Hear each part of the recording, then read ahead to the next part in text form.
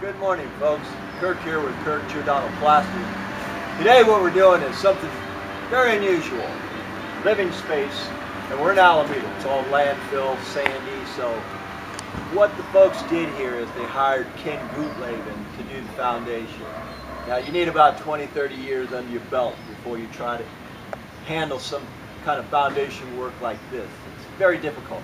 What we're doing is the stucco work. Now, what we're going to do is we're going to stucco these walls here on the bottom. This is the first phase. We're going through a lot of phases on this place.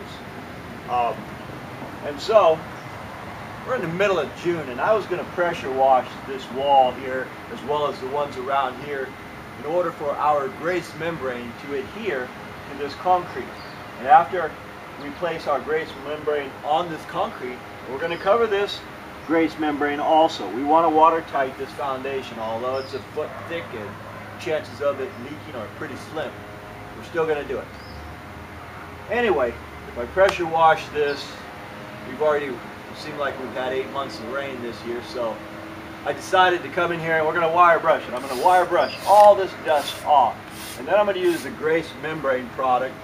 It comes with its own adhesive. We're going to uh, apply that adhesive to this cement. Then we're going to grace membrane this. If you walk around, I'll show you what we're going to end up with. Uh, we are going to grace the wood here also and come down. We're going to take this original membrane, put it back up, and go over the top of it. Therefore, the whole foundation is sealed. Follow me around here and I'll show you, well,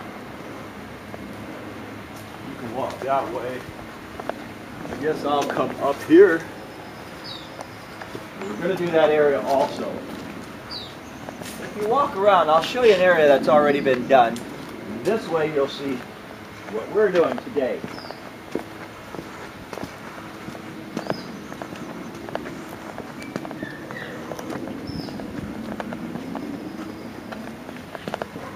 This is not something we're doing today. That's uh, second stage of our project. Over here is something we are doing today. Now, this is concrete, and so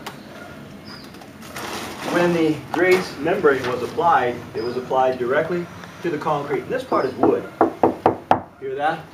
Wood, concrete. So we decided, uh, might as well just grace everything. So the grace has come over here an important thing to remember when you're doing the grace membrane over concrete or wood is get your corners tight.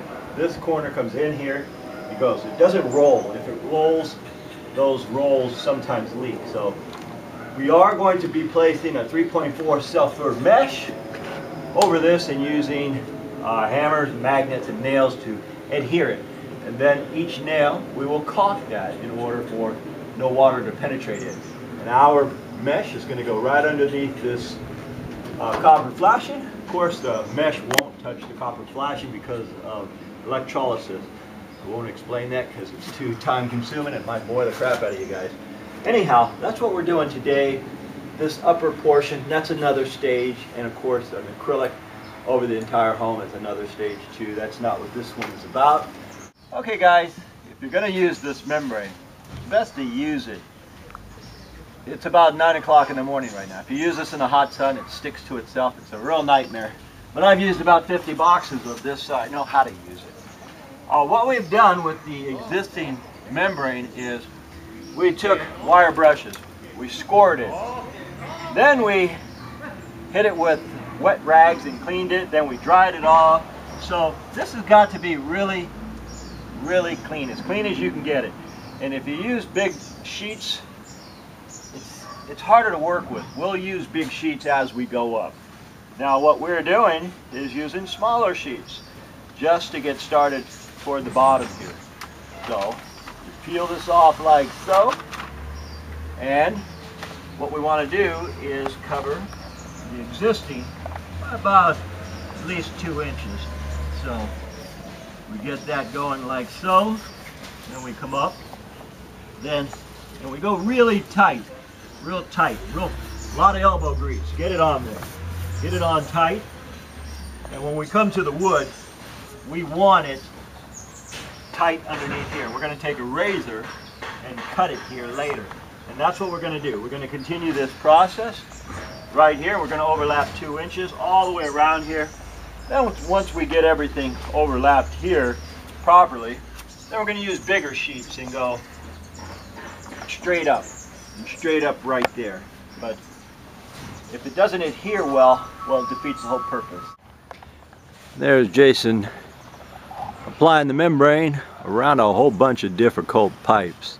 That's the real time consuming stuff.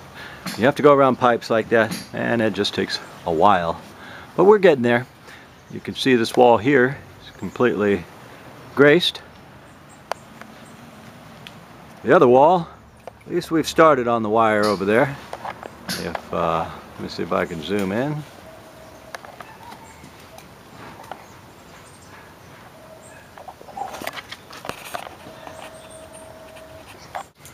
Okay folks, we're about ready to head out here. About another hour, so I figure I'd get the video uh, ending out of the way. Now, what we have here, as I showed you earlier, is all concrete. Now, I used my staple gun to put staples. There's one, I had the luxury of having one inch of, of wood up here. So my first one, I tacked it in. I put a whole bunch of staples here, and I took the 3.4 self-furred mesh into the 17 gauge wire and stapled that also. I stapled it because I can and I have, it's much easier to use the gun here than to use these concrete nails.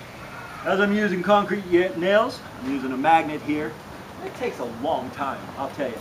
And if you go with one of the guns, it takes even longer and you destroy the concrete. So rather than uh, pound it, which we're about every four inches into the concrete, we also use the gun because it's much easier.